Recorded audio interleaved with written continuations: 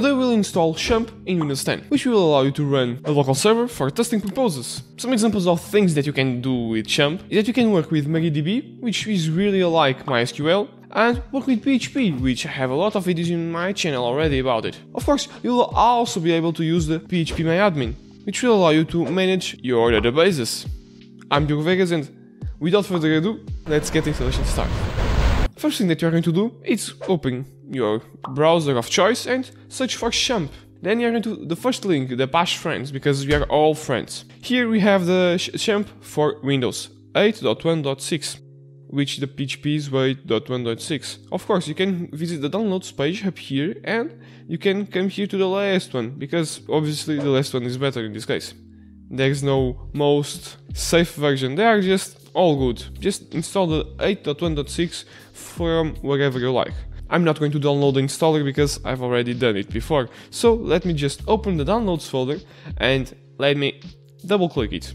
It will ask for your permission, of course. If you will permit that XAMPP use your PC and change the device as much as he likes. Since my PC is a little bit slow,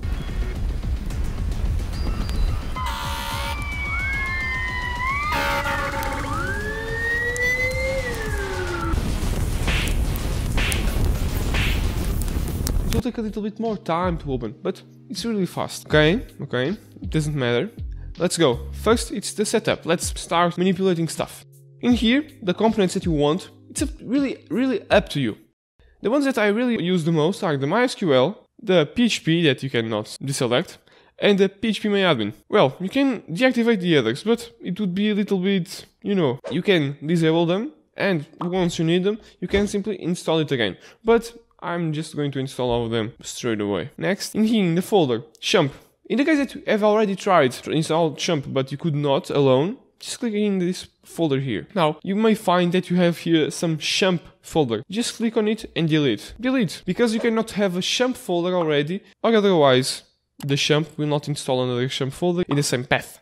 I've just transformed my old XAMPP folder to XAMPP Backup, and next. Here, if you're not Dutch, I recommend you to put English, because you see it's easier. Sex? Sex. Sexo. Sexo. Geschlechtsverkehr. And lastly, if you want to learn more about the XAMPP, you can leave that box marked or click in this link and start learning more about XAMPP. I don't really need to or want to. I'm just going to deselect it. Next, and now it is going to take a lot of time because my PC is slow and it is really a little bit big. So I'll just wait a little bit and when it's ready, I'll be back.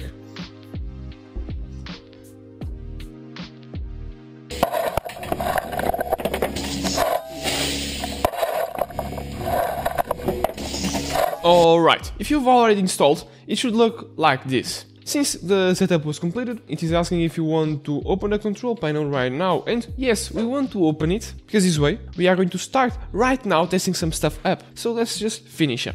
Okay, now, let's wait a little bit more, a little bit, some seconds.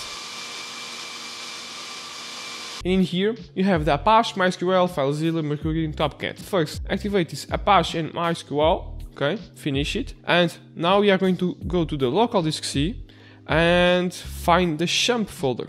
Right? If you didn't change the path, this should be where it is. And there are a lot of stuff, but just jump straight to the htdocs. And in here, there are some default folders, which are some necessary things to work with localhost, which is going to be where you're going to make all your tests. I'm just going to localhost here and here's the dashboard. I'm just going to reset the, the zoom, right? And as you can see, it is a pretty like page that we were right now, a couple moments ago. And this is the dashboard. It's when you don't have anything after the localhost, it's going to be the dashboard automatically. But you don't want that. You want to start creating projects. So one thing that you can do is right click, new, and create a new folder.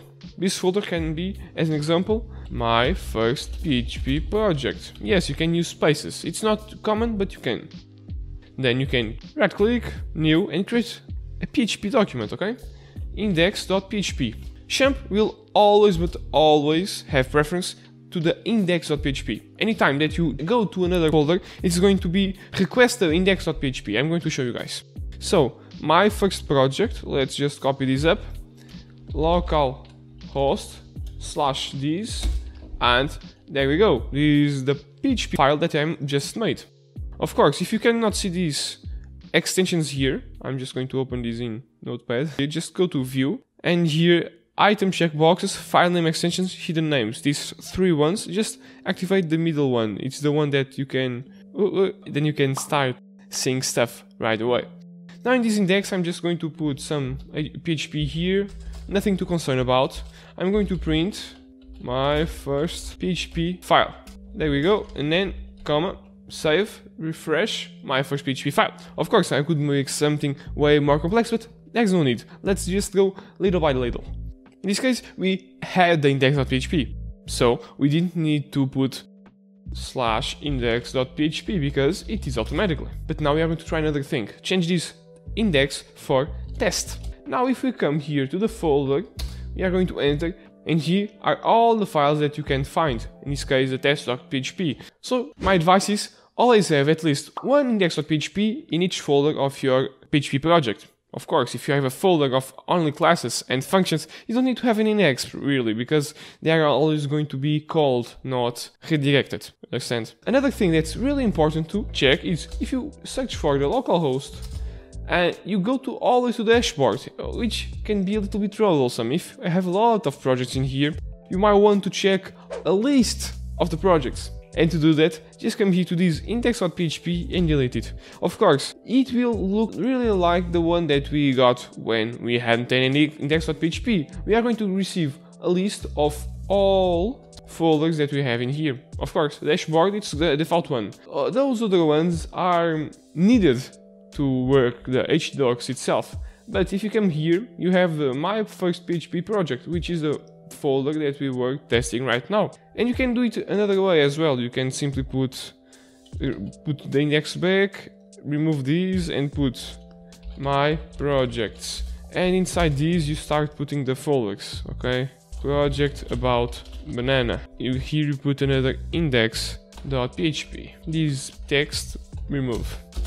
Okay, let's go, localhost again. But now instead of put localhost, you just put my project. And in this case, you are going to have a lot of folders. And with this, I believe I could teach every single trick that any beginner should learn before starting with XAMPP. Of course, if you want more videos about XAMPP, about PHP, MySQL, PHP MyAdmin, it's up to you. Just leave in the comments and let me know. I hope you guys enjoyed and see you soon.